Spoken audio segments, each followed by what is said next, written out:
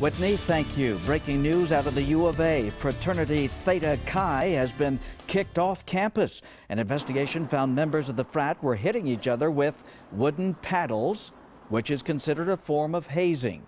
This is the sixth fraternity in three years to lose their recognition at the U of A. Theta Chi can reapply in the year 2019.